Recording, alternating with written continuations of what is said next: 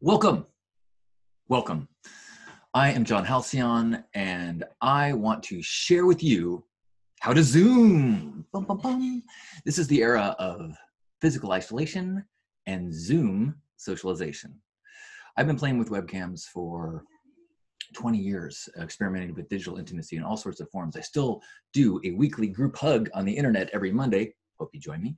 I'm also doing twice a day Zoom calls now so we can get some socializing going in this wacky world. But as I've been experimenting with, I have been getting more and more people saying, well, how do I do this? Can I do this? How do I do this? And let's let's get into it. We should all be having more engorged and exciting and fulfilling and intimate connections through these digital tools. So I want to go through a few things. Let's do it. Ready? Join me. Um, First off, uh, Zoom is a free tool to use. It is also a free tool to host if you keep it under 45 minutes with a group of three or more. Now, to have fun in this, I say bust through the three limit and the 45 minutes upgrade. I think that's 14.95 or 99, something like that, for the monthly fee to host large gatherings. it is a bargain considering um, what it would cost to rent a room someplace, for example. So I'm going to be talking about using the uh, the paid version uh, as a host and as a user. So um, first off, uh, when you are broadcasting, best thing you want to do is have indirect flat lighting. Right now I have window lighting coming from me, but it is not uh, directly on me, so I have harsh shadows. And that's ideal. So you want to like look at your image and say, do I have you know a, a, bright light behind me? You don't want to be backlit. You want to have a bright light above you that gives you like harsh lines on your face. You want to have kind of soft lighting so that uh, you know you look good. There is a feature in uh, that you can kind of soften the image, uh, but you know I'll leave that to you if you want to do that in the in your preferences. Um, I am encouraging everyone uh, to, as you approach and get ready to broadcast, have some fun with your appearance. Put on a funky hat, put on a funky shirt, uh, put something weird in your background. Look, this is not a business meeting. This is socializing. The whole world is having a dust storm right now, and so it's not uh, the reason to to to forget and let go of our instinct for fun and whimsy. This is a time to break out your bins, shake off the dust, and have some fun. Lighten up your day and others' day by looking cool. Whatever you think cool is. Let it out. Be a cowboy. Um, and you also, pants are optional when you have just this on your camera until it gets to be a dance party. And then you should have consent before you jangle, dangle, dance. Okay. Um, try to have an uncluttered background. Mine is not ideal. At least I did make my bed. You don't want you know people to be distracted by uh, a mess in in your house. That being said, there are some cool things that you can do with Zoom. Uh, Zoom now has virtual backgrounds. So you need to have the newest version. Older versions don't have it. You're going to go to Zoom preferences, then virtual background, and then they have images there, or you can select your own. Uh, I mean, upload your own. So I've uploaded pictures, for example, virtual background of my Burning Man camp. Oops, let's see. And ta-da! Now, see, the problem is it's estimating where the end of my head is. So it's not ideal you may have to check with your lighting and your head and decide if this is a, a feature that's that, see how it's struggling here trying to figure out i look a little wacky. Now they do have the option if you have you know you want to have as as uh, uniform background as possible for this to work awesome but they also have a green screen option. You can click i have a green screen. I happen to have a green screen. This is a collapsible one. Uh, costs about $160 on uh, Amazon. Um, you can see it's crisper already, but not perfect. Now I click on, I have a green screen and boom, now, now I am coming to you live from the playa. Isn't that fun? Now you can do, if you have a, a colored wall or something like that, you can use that as your green screen because it lets you select the color of your green screen if you have a, you know, different colored wall. Okay. So, um, when you people start gathering in the room and you're gathering in, it is good to be aware of your own audio. And it's sometimes a good idea to mute yourself until you figure out what's going on. Some hosts will have the settings so that as you enter the room, you'll automatically be muted. The reason being, you may not be aware of the rustling in your clothes or the background noise or your barking dog or something like that. And because of the way the audio is worked, you can command the uh, attention of the of the room, the camera will be on you as you're rustling, rustling, rustling. It's very distracting. So it's a good idea to mute it. This also kind of got a gauge on how many people. If there's just a few of you, you don't need to stay muted. You're having a conversation. If there's a lot of people, it's a good idea to stay muted until it's you your turn to talk or you want to talk, uh, and then unmute. There is a hand raising feature, so you can let people know that you want to talk, as well as you can see each other, so you can also try to get people's attention that way. Um,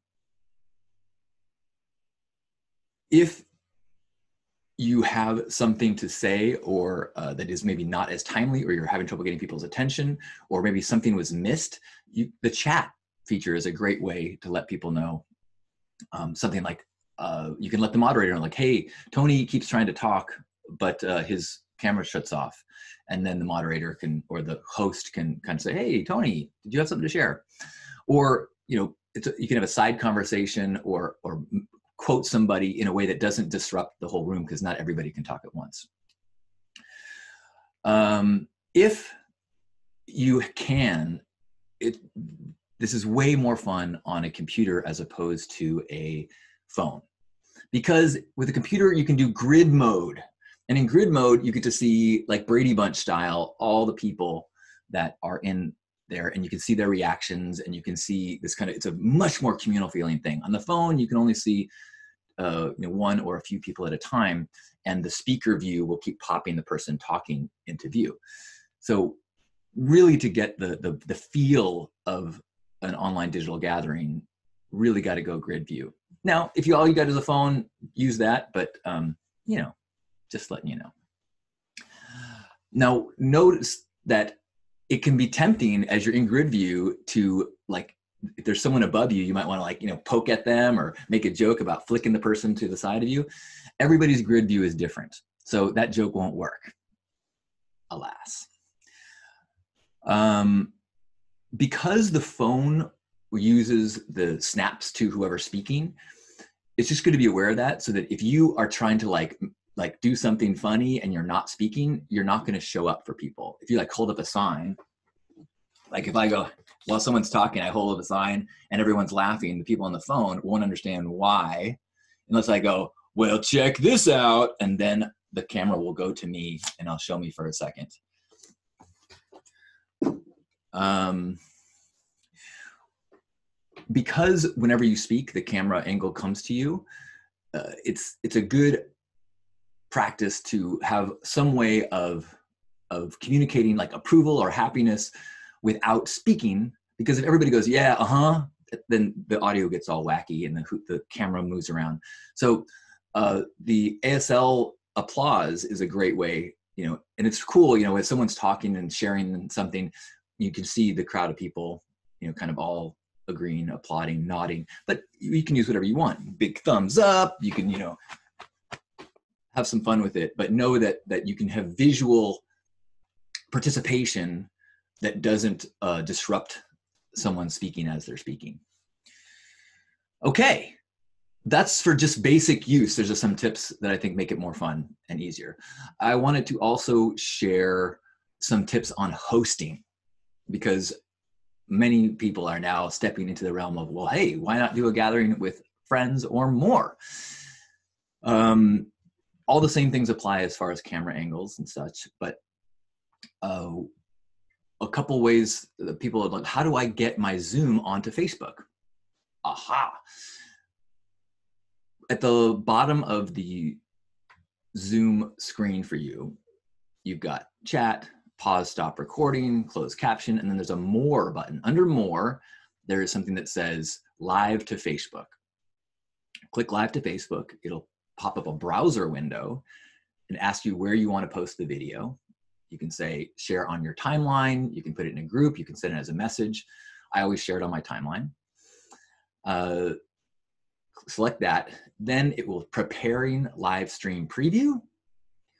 And then it pops up a window or a, a, a browser screen that is uh, shows a preview of your Zoom, some encoding information that I don't understand, and then there's a posting, a, a traditional Facebook posting screen with you know uh, what you want to say and your uh, the subject of your post. Sometimes it will continue to say preparing, preparing, preparing. Sometimes it says that indefinitely, but it still works. Just fill out your post. Um, if you want people to join you in the Zoom, include your Zoom link there so people can join you and pop into your room. Submit that, and then the the the view that you see on your screen will be broadcast onto Facebook. That means if you have it in speaker view, speaker view is going to be on Facebook. If you have it on grid view, grid view is going to be on Facebook. I think grid view is the whole reason for this. Speaker view, well, I guess it depends. I don't want to tell you how to do it. Someone's joining me here. Did not intend to do that. Uh, well, welcome, happy human. So this is a perfect example. So now this person is in, and, and they're not muted. So I'm going to mute them. I've got some some tools over here. Oh, now they're muted. Perfect. Um, so there's administration tools of managed participants that gives me a view of everyone. I can mute people as they're in. I can also, uh, you know, uh, mute all, unmute all fairly easily from there. Uh, and so I'm in a, a, a Zoom room currently that I have publicized the, the link for. The every day at noon at six, I come in this lounge at zoom.hugnation.com. You can interrupt me right now, but please don't yet. And so people, uh, that's why that person was able to join me, which I so appreciate. I just wasn't ready. Ta-da! Yay! Fun and live. Okay, so now we're broadcasting on Facebook. There's a link on my description so people can join me. And as they join me, they will then be in the Facebook uh, feed. One thing that you can do uh, that I've been doing is you could kind of start your broadcast early, maybe a few minutes early, and do a little promotion by putting something in your background image uh, that tells what's going on. I'll give you an example. So I, under my preferences, I go to my virtual background and I select a little um, promo. So and then I go and finish getting ready. And while now my Facebook feed has this playing as it's live, and the description has the link to come to the Zoom. So as this is playing, people are knowing to to come join me in a few minutes to play a game. Uh, and then when I when it's time, okay, cool, go back, change my background, and ta-da, we're good to go.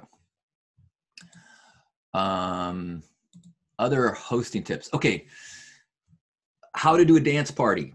Now, I know a lot of, there, there have been DJs that have been resistant to use Zoom because the, the audio is an issue.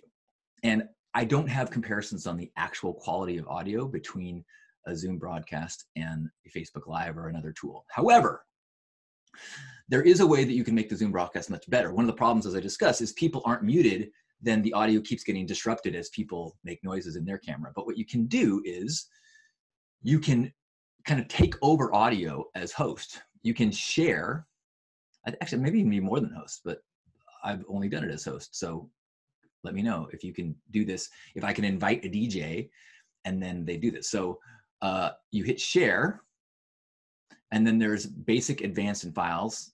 I hit advanced, and then there's computer sound only. And so let me just try this. First, I'm gonna play uh, a music from my computer and then see if the audio changes as I go from share my computer. So I'm gonna play some music. Lady Gaga, Stupid Love, Freak Out. Okay, so I've got music playing. You probably can hear my voice as well. Um, it's recording, the audio is coming from my microphone right now. So this is the, my computer audio coming through here, so it's not ideal. But when I go share computer sound only, believe,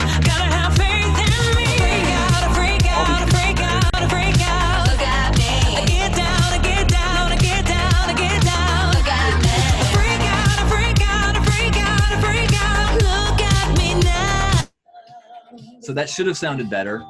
Um, if it didn't, well, hey, we're learning. That's part of this, right? So uh, that's a way to to give the audio controls to one person and avoid the kind of Zoom cacophony that can happen. And you can have a dance party. Uh, now I feel I missed an opportunity to dance. What a shame.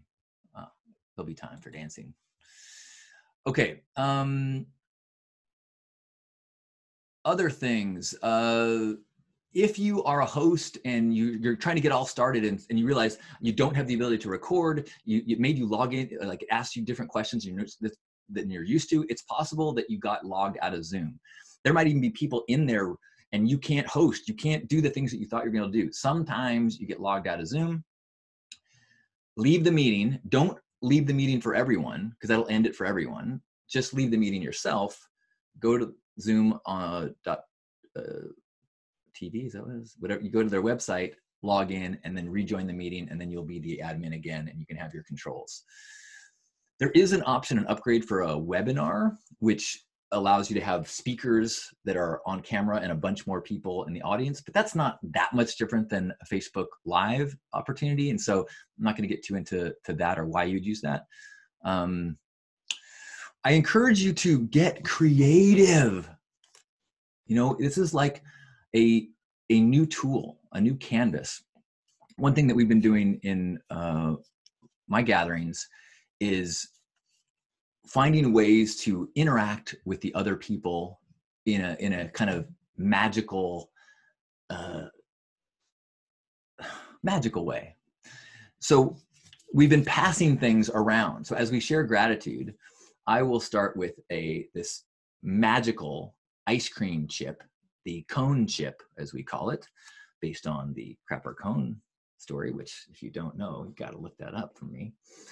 Crapper cone. Uh, so I cone. I think I I think of something that I'm grateful for, put my good energy into it, and then I pass it above the camera, and then I call someone's name who's in there, and they Lewis, and then Lewis will then grab from his camera and pull it in and share his gratitude and then he passes it to jenny and then jenny passes it in or and because this this object is something that everybody has the opportunity to create or make it allows a uniformity and there's a really special thing that happens. That's just something that just kind of happened organically as we were playing. Um, I, there's all i don't know. This is let's get creative and have fun and share with me because this is a this is the time and place to to let it out. So i hope that is helpful. I hope you are utilizing these digital tools so that you don't feel in isolation even while we're in isolation. Let's do isolation together. Join me every day noon at 6 pacific time at zoom.hugnation.com if you've got something cool going on let me know. I love popping in and joining other gatherings.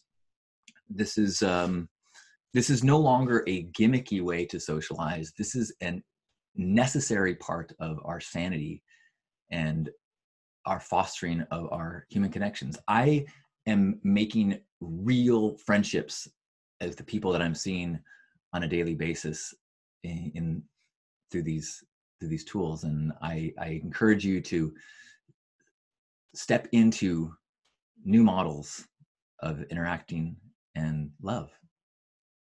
So, thank you for letting me share. I hope we get to connect deeper in these realms. But thank you so, so much. I love you. Stay safe, stay healthy, and look for the silver linings. Thanks for watching. Please subscribe on YouTube and join me live uh, every day at noon Pacific at zoom.hugnation.com. We'll have a gratitude circle and connect during these wacky times. I encourage all Americans to cheer out their window every night at 6 o'clock Pacific, 9 o'clock Eastern. Cheer for the healthcare professionals and all those that are making society continue to run. Thank you, thank you, thank you. Out the windows, clap, 6 o'clock, just like the Europeans are doing. And then join me during or right after at zoom.hugnation.com for an online gathering of connection, faces, laughter, and gratitude.